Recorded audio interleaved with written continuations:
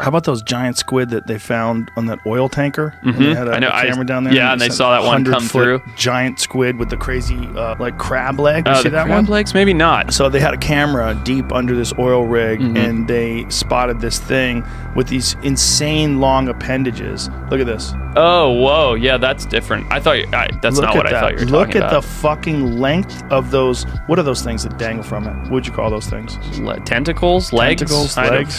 What is it? But look at the legs on it. It's like an insect. Like, look at that thing. It's crazy. I mean, if you saw that underwater, you would shit your pants. Hundred percent. Hundred percent. And it's 100 feet. Yeah. It's, it's huge. Okay, the length is up to 15 to 20 times the mantle. Twenty-six Uh, feet 26 feet. Okay, that's or pretty big. more.